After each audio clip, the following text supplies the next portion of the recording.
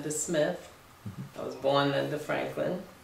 I was born in 1942 to uh, Dorothy Franklin and James Franklin in Baltimore, Maryland. I was born at home, which wasn't unusual at that time. I was uh, born on Saratoga Street, I don't know the address, in West Baltimore. Okay. Um, uh, Linda is my cousin. Uh, my father, Alvin Franklin, and her father, James, were brothers. Um, there was a huge age difference, you know, uh, but I guess that sort of goes in the Franklin family because my oldest brother, Kelvin, and I was a huge age difference. Um, coming up in the 50s and the 60s in inner city Baltimore, talk to me a little bit about the neighborhood. Okay, I lived on, I lived in the 400 block of Stricker Street in West Baltimore. I loved it there. It was a close-knit neighborhood. Um, when you were out in the street, you had to kind of be on your P's and Q's because at that time, whenever you did something that you, you wouldn't want your parents to know about, you were in trouble because the neighbors would tell, they would discipline you or they would point their finger and let you know that they were going to tell their parent, tell your parents. So uh, you, uh, it was just like a, just a very close knit family, a neighborhood family. Um, I just I just loved it down there because, well, I I had to sit on the front. We I, we had to play in front of the door. We had to be in the house before dark. We knew that uh, when the lights came on, you had to get in the house. Um, there were some kids who had kind of freedom in the neighborhood. They could go where they want, but I was raised by my grandmother. And even though she wasn't home, she left certain rules that I knew I needed to follow. I was one of the latchkey kids. I went to school uh, about four or five blocks away, and that time it was safe to do that. I came home with a key around my neck. Um, I had kind of a routine because we had a big house and I was always afraid in that house by myself. I'd run in, get my lunch, look at one of the soaps, knew it was time to come back home, and then I would leave. I don't, I can't remember what my brothers did because they never came home with me, so I, I guess they had another routine. I have, I am, I didn't, didn't say that before, but I have two brothers. I was raised one uh, with. One was a year old me, Carl Franklin, um, and Larry Franklin. They're both deceased now. Of course, I miss them very much. Absolutely. Okay, with that, um, tell me a little bit about Carl. I, you know, I was way too young. I didn't, you know, really get a chance to know him. Or um, Carl was a nice guy. He was a handsome guy. He was very um, kind of mischievous. Uh, the neighbors loved him, but they knew that uh, you watch out because Carl might be doing little sneaky things. Um, but and he and school was not his favorite place, but the teachers they loved him. Uh, they kind of they kind of um, would say like, "Oh my God, Carl Franklin's gonna in my class," but they still had a certain uh, way that they kind of loved him. Uh, when I when I went to elementary school behind him, almost every class I went in, they would say, "Oh, you're Carl's sister," and they thought that there was going to be a lot of mischief coming from me, but they that never happened. I was like totally uh, dedicated to school and pretty good, pretty well behaved. Talked too much, but that was about it. Okay. Tell me about um. You said you were raised by your grandmother. Mhm. Um, talk to me about her. What was her name? My grandmother's name was Pauline Franklin. Um, I really never knew her exact name. She used to tell me her name was Pauline Estelle Franklin. Sometimes she said Pauline Estelle Marion Franklin. I had a talk with my dad years later, and he only knew about the Marion. So things seem like they're things she used to tell me, but they kind of changed around, you know. Uh, my grandmother was a domestic worker. Um, she went to work every day, just about, and worked in, the, you know, homes of the white people, cleaned, ironed. Uh, Sometime I'd see her. Uh, she'd be very. She'd get up. She'd have a lot of pain at night from working hard. But the next morning, she'd drag herself out, go to work. leave rules home. I knew what we were supposed to do. We also knew to look out that door. So we see her coming, we knew we better have things straight in the house and better have ourselves in the house. Uh, she also took in uh, washed and ironing for people in the neighborhood. She uh, sometimes um, cooked food and uh, for neighbors and stuff, and she also did like uh, back in the day. She used to can food and some stuff. She also uh, did something what they call stretching curtain. I don't know. She used to take curtains and put them on this wooden thing and stretch them and uh, and fix them up for her our house or the neighbors and stuff. She did a lot of She's very handy stuff. She took in the ironing, and we take the clothes even within the neighborhood. Take the baskets of clothes to the people. Mm-hmm. Um, she wasn't well educated. She, uh, I think she told me she went to about the fifth or sixth grade, but she was very smart and knowing how to uh, take care of business. She owned her own home we lived in. She had some property they always told me our family had some property up on Route 40. In fact, um, there was a drive-in movie right up from Edmondson Village somewhere. In Winter's Lane. Was, yeah, uh-huh. that was part of the, our property, so I heard. Yeah, know. to fill that in, it was at, uh, they owned a farm. It was a pig farm. Uh, this come from me doing all this research. Mm-hmm. Um, it was right at the corner of what we now call Route 40 and Winter's Lane. Uh, it was sold in 1940 43 or 44, something like that, for the sum of $4,000. Wow. Yeah. if, if, those of you from Baltimore uh, know that area, it's where the uh, Circuit City used to be. It's a H.H. Gregg and it's a Home Depot now. Yeah. So, amazing. With that, um, my dad, uh, he used to tell me about how they used to, it was dirt road from Winter's Lane all the way down to Hilton Street. The city didn't start until Hilton Street, and how you know that was such a big deal for them when they got a chance to come into the city. Um, tell me a little bit what, if anything, you know about our grandfather. Um, I know I don't know very much about him. I know his name was uh, Jesse. They told me Jesse James Franklin, which I always equated with uh, Jesse James. Uh, he was a very proud man. Um, from the stories I got from my grandmother, he was kind of like a,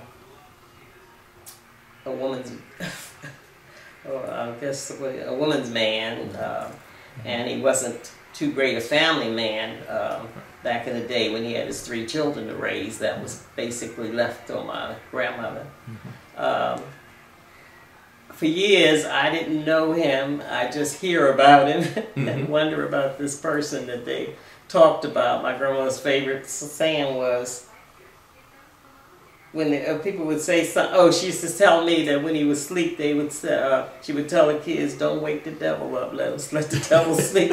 so that's the only thing. I, that's one thing I definitely remember about him. But um, um, after a while, I was probably around eleven or twelve I heard he was coming to visit, and he came to the house and he started visiting, and my and my grandmother started talking back and forth to him, and he eventually I don't know what he said to her, but that's when she decided that she was going to uh, reunite with him, and I was 13.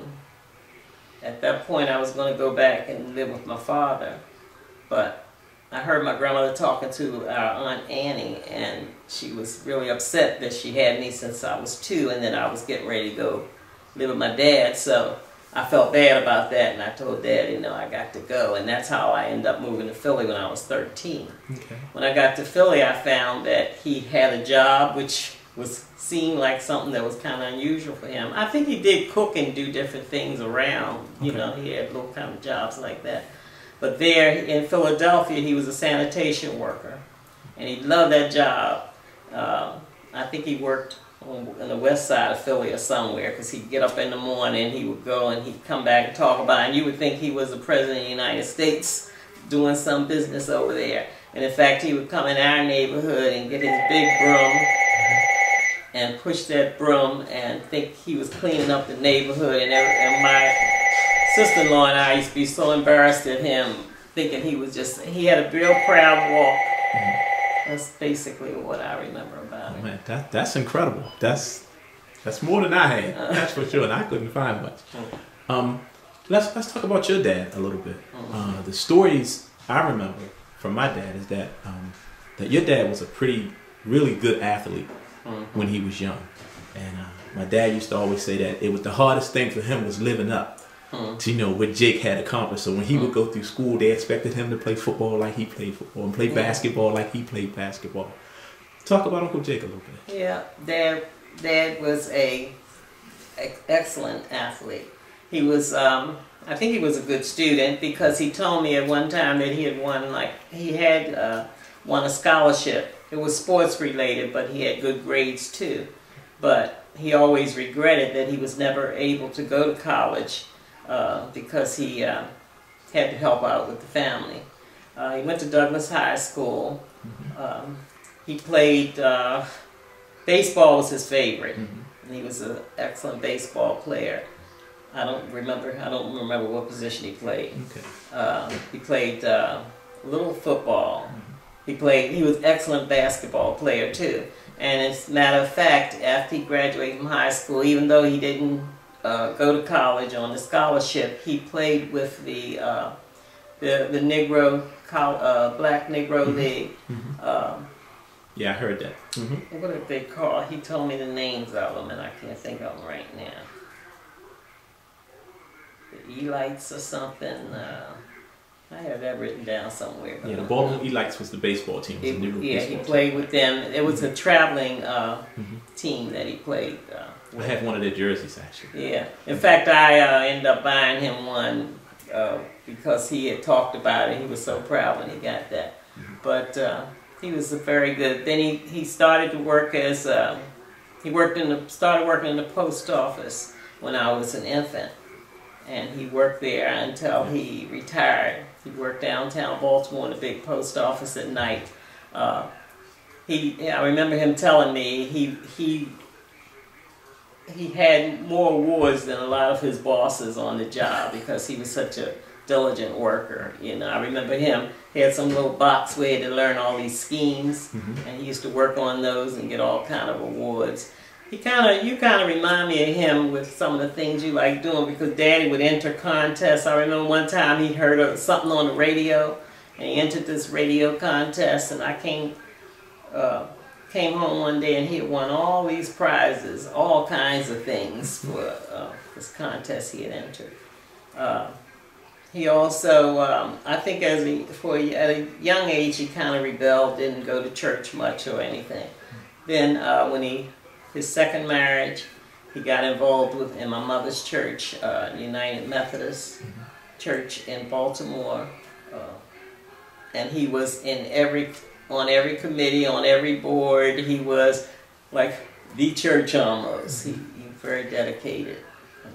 What I what I remember um, most about Uncle Jake is every Sunday. Mhm. You know him coming by um, the house and uh, always just looking so Looking sharp. distinguished, so distinguished. Yeah. Just had it together. You know what I mean? And uh, I remember telling uh, him and my, my uncle Bud on my mom's side, they were the only two men I would ever see in a shirt and tie. Hmm. You know, Yeah. and um, it, it just being able to see it was so incredible because it was my inspiration. At, at a very young age, I knew that where I grew up and what I saw, I don't know how, but I knew that's not what I wanted. Mhm. You know, I didn't want to be that or live that Yeah. way. Yeah. Um, but Uncle Jake, you know, I mean, just sharp. Yeah. Car always clean. That Yeah. Chrysler, whatever it was, you know, just Yeah. always clean, you know, and uh, I just it was an inspiration. It really was, just from afar. I mean, he we didn't have many conversations with him. He would come in and have conversations with my dad, and they always wanted to be alone, just them Mhm. two. And um, and then he would leave, but it was cool though. You know what I mean? That that was very cool. So okay, let's roll into let's talk about your mom a little bit, Aunt Dorothy. Well, my mother um, always loved my mother, but always loved her like from a from a distance because I didn't have much. Uh, I didn't. I wasn't around her that often. Uh, she was to me always a sharp lady, and uh, she was always nice to me when I was around. But it was as a young child, I found myself being the one that kept a relationship going because my mother was kind of into her life, and uh, my father raised us, he and my grandmother. So I didn't get to see her that often. She'd come see us every now and then, but mostly I'd hunt her down. And to be honest with you, there were many times when I would just kind of go past her house and I could tell that it wasn't a good time or she didn't really want any company because she was doing her thing. But in time, um, our relationship grew. Um, we never, to me, had what I would call a mother-daughter relationship, the kind that you would have if your mother raised you. But we always had a tight love for Okay. each other. Um, and the one thing, she and my dad always had a pretty decent relationship, even though they had been divorced for years. My dad would sometimes stop by and just, if you see her on the front steps, because you know back in the day, folks right. sat out in front of the house. He'd just stopped there, and I always loved to see them just sit and talk, even though I knew he had his new life and she had hers. But uh, they always, you know, respected each other, and uh, in that way, that was that made me feel good. to swing back to your dad very quickly. I have this really big, or had this really big picture of when he and Aunt Horty got married and the wedding party. And I see my brother Marvin there with this little tuxedo on. He was just a, a little fella. It just seemed to me like that was a that was one of those picture days. Do you remember that? You- Well, actually, you kind of confusing something right now.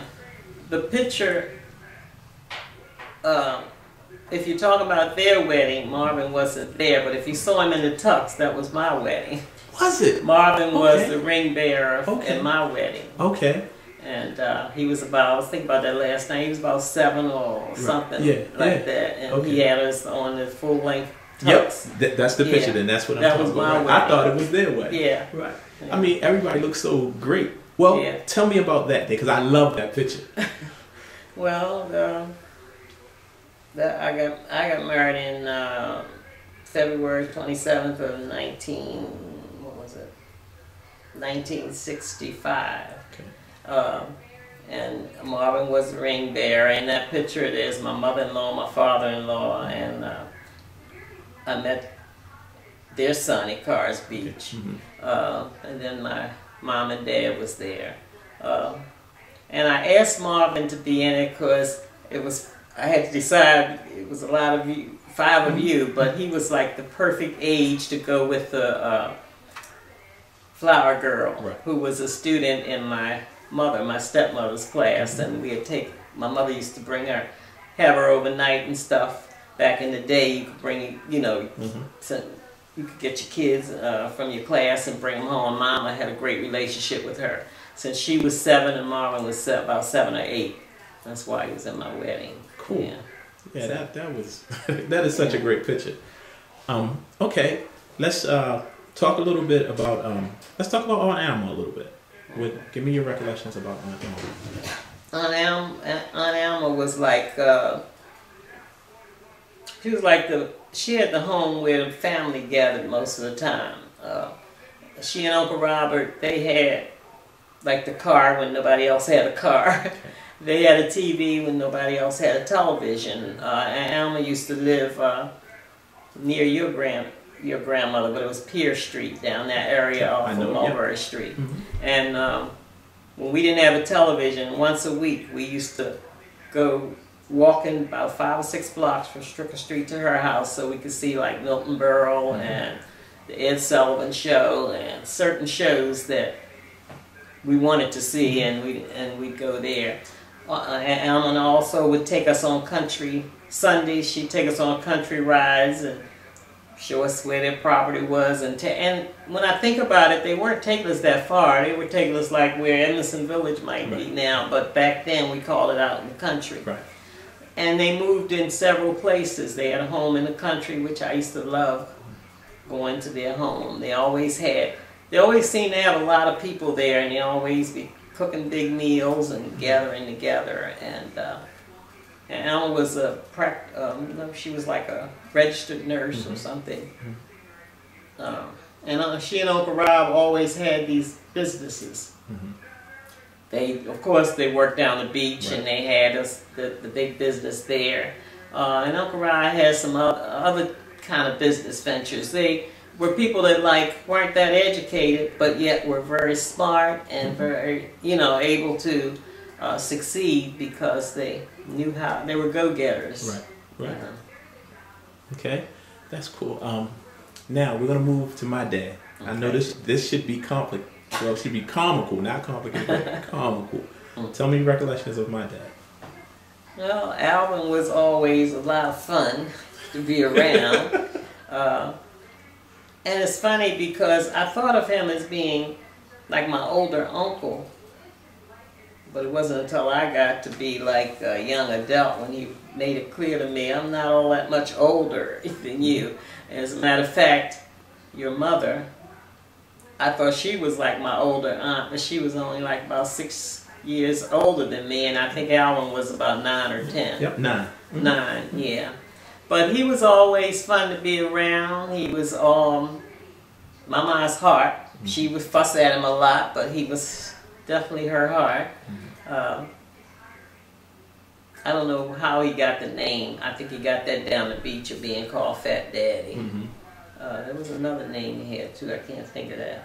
But he was just, and he um, he was. I thought he used to be so sharp when he went into the service, came back and had his uniform on and whatever. Mm-hmm. But I remember back when he met uh, his wife, your mother. Mm-hmm. They she was living right. Uh, Aunt, your Aunt Minnie was living two doors up or three doors up the street from me, and um, Alvin used to be going up to the house all the time. And to this day, I remember my grandmother saying, our grandmother saying, uh, "You better go get Alvin. He up there in that house, and they up there. go get him out of there."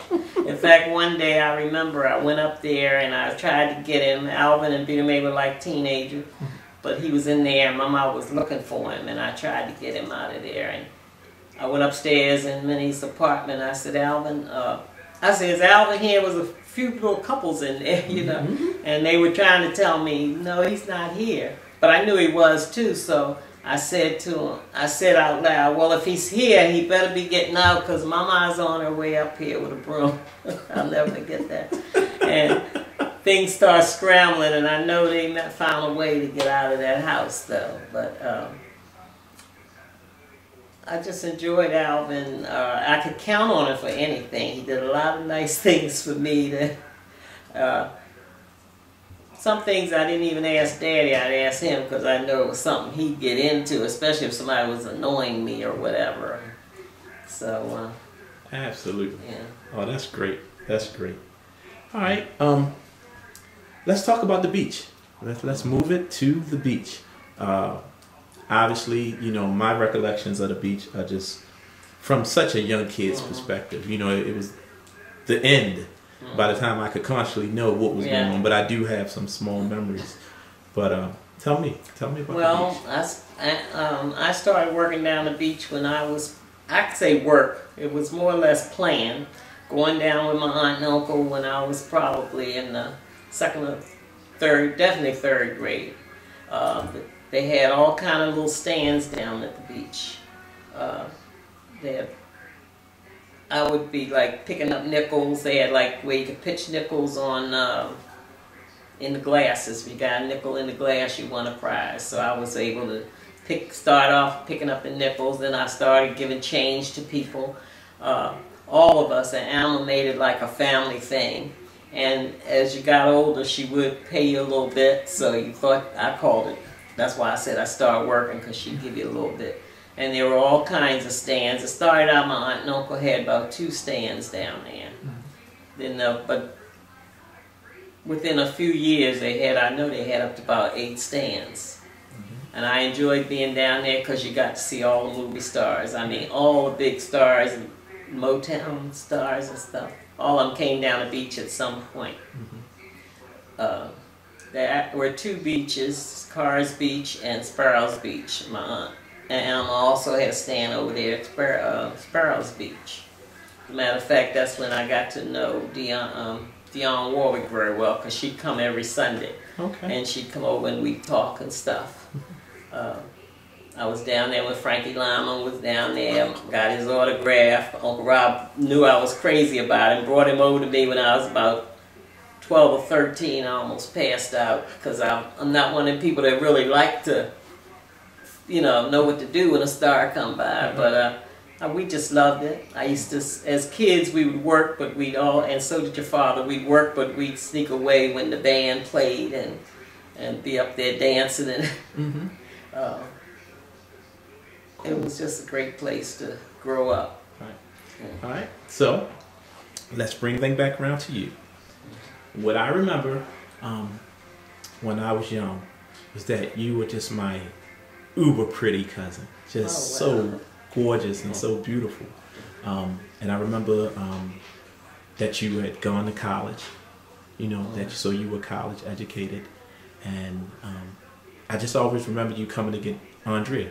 You know, we would be at Mama's playing, and you would just come in and you'd waltz in and you know kiss Mama or whatever, and then you'd get Andrea and leave. Um, talk about you growing up, high school, college.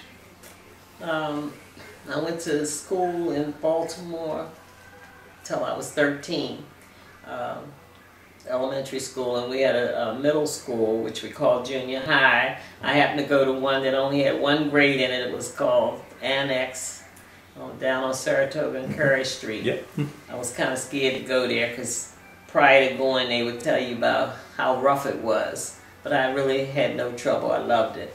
And then I moved from there to Philadelphia. When I moved to Philadelphia, it was like totally different because when I was in Baltimore, schools weren't integrated back then. And when I moved to Philadelphia, it was just like a whole new thing for me because even though I was in South Philly, uh, the schools were already integrated and uh, I hadn't seen anything like that. And I, you know, I really, that, that really uh, was different for me. But uh, in South Philly, wasn't, it was mostly black. But there are, you know, there were other white kids, uh, Puerto Rican, whatever there. I love the schools there. I loved it there. Then I moved to, uh, went to high school where we were only 2% black. It was, I had to catch three buses to go. It was a wonderful school. I loved it. A lot of the kids I went to school with, I don't know if you heard of this bandstand. Mm-hmm. A lot of kids, because it was Out of Philly. out of Philly at the time. A lot of the kids went, but of course only the white kids to go. The black kids couldn't go back. But I think just be, by the time I was getting ready to go to college, few black kids at a time would go there. And even though our schools were integrated, and even though we had parties together and dances and stuff like that, we still had a situation where all the whites did their thing over here and all the black thing did their thing over here. But I remember one day at a, a, a high school dance, some girlfriends of mine, your, your Aunt Vi and myself, and a few of us, we decided we were tired of that, so we just went over and asked some of the black, uh, white kids to dance, and we started dancing, and and next thing you know, everybody was dancing, Really? and it was just the most amazing thing of how easy it was, and you know, even though in school we got along well, but you still did your own little thing. But I, I remember that. And I called myself, I guess, doing a little integrating thing there. uh, but I went to John Bartram High School, which was a well-known school there at the time. I always uh, keep in mind. I, I always tell people, and uh, I went to school during the time that Patti LaBelle was there. She was in my high school. Uh, she was a year behind me. Uh, and I also went to school at the time when her husband was there. And then I went on to Cheyney Okay. Yeah. uh, in Philadelphia. It was a small black college that I loved. My first time really away from home, uh, I loved it. College experience. Of course, came right out, taught school. Um, you know, came back to Baltimore, became a teacher, Right. taught for 35 years. Okay. And what were the, the ages that you taught? What I actually taught, I'm one of those rare teachers that stayed in the same grade. I taught the first grade for the whole 35 years. Really? I taught summer school, and I would teach from fir- any grade from first to 5th Mhm. But I, in um, regular school, I only taught the first grade. Sort of like my, my mother, my stepmother, who was also a teacher, Right. and almost all her family were teachers. Uh, she taught second grade. I don't know if you knew that John Hortense taught second grade for 34 years. Yeah, I knew she was in the school system. Didn't know what she did though. Yeah. So, okay, let's let's parlay to that. Teaching first graders, Mhm. 34, 35 years of that. What did it teach you? Well, it's, it, it taught me, first of all, I didn't realize that children could learn so much. If you, if you presented them with it, they could, they could really learn a lot. Um, I saw changes, things changed a lot um, over those 35 years. When I first started teaching, it was a lot easier. the discipline was a lot easier because kids had learned uh, that nobody i mean it wasn't a perfect situation but the kids were really just they looked up to the teachers they weren't going to do but so much in front of their teachers and the parents were a lot more cooperative than it turned out in my last few years that was the hardest part uh, the discipline Mhm. and also uh, communicating with parents changed a lot Mhm. over the years What do you attribute that to? Do you attribute it to? Um, I think the fact, to me, when they took prayer, uh, prayer out of school, and when they kept, uh, you know, they took a lot out of the teachers and the administrators' hands, and uh, things just changed a lot to me then. yeah, I remember getting my hand slapped. I remember Yeah. getting paddled. I remember having to stand in the corner. Yeah. I- yeah, all that's gone. Yeah. Um, okay. Uh, now tell me, tell me about your children. Tell me about your grandchildren. Let's let's move on. Let's. Well, I have one daughter, of course. Uh, I have uh, I have one daughter who's Andrea Smith, who's 44 years old. Uh, we're close, but we have our back, you know, Mhm. mothers and daughter kind of things going on. She has one daughter. Uh, we've always, well, I'll say this: she attended uh, Bowie State, and before then she went to Norfolk, which you um, you know Yeah, that right. because you Right. you were a transportation a lot. Uh, Norfolk, I don't think she really ever adjusted to that because uh, she's kind of like me, kind of homebody. Uh, she didn't like it in Norfolk too much. She was uh, she adjusted much better at uh, Bowie because then she could she stayed on campus. Kind of stayed to herself a lot, from what I know. But you know, you never know it all. I say from what I know. Uh, she uh, then she started when she started driving she commute um, and come on once a week but we've always been pretty close. Uh, she had her own apartment for a while then after a while we decided to buy this house together. Mm-hmm. And that's worked out pretty good. Yeah, that's uh, pretty good. So, in contrast to the, the relationship that you had with your mother, do you mm-hmm. think that contributed why you are so close to her? oh i'm sure it had a lot to do with it because i always said that i, I will never my daughter's never going to be but so far away from me Right. you know Right. uh, even though any parent and daughter, they may have, uh, sometimes I fuss at her because I tell her she's not, uh, I like being hugged and whatever, and she's more like her dad, so she ain't gonna hug you or touch you or so much, but I know the love is there. Um, and I'm sure she knows that I would not, she never will be but so far from me if I have anything to do with it, because she's really my heart and soul, and so is the one upstairs, my granddaughter. Talk about it. and they are very much they're so much like each other. Mhm. uh, my my granddaughter is smart she loves school she's mouthy. Her mother was mouthy. But both of them have uh, the trait that they were the mouth part was there but they are very um, respectful and very nice people and people that you know are going to pretty much do what you say even though my granddaughter tell you, I'm not doing that, grandma. And give her a few minutes, it's going to get done, you mm-hmm. know. Mm-hmm. Uh, my granddaughter loves school. She's a very good student. Mm-hmm. She will get her homework done, then she might do her other thing, but that's most important to her. So, So now, this is the thing that I think uh, most of the people that I interview have the hardest time with. But for me, I find it easy. Speak to Maya's children and Maya's children's children. what I think, What they should know. What you know. What what would you say to them? You know, when they look back, so that like how we can only step back to our grandparents. mhm, We don't know much. mhm, let's let our great great grandparents, you know, it's gonna happen. What would you say to them so that they know that we can pass out our knowledge? My, I guess my biggest thing is that I think heritage being stolen from black people in general is the greatest crime that happened about bringing us here to America. We a lot of people don't know the stock that we come from. mhm, I have a niece right now, Marvin's oldest daughter, who's stationed in upstate Pennsylvania. And she was on Facebook and she was writing how hard it is. She's in the army and how hard it is. And I had to remind her, your grandfather was stationed up there in the army and he went through those same things. mhm, And she was like, I knew it, but I wasn't thinking about it. mhm, You can make it. You'll be okay. You come from good stock. mhm. And that's the kind of thing I'm saying you would say. What would you say?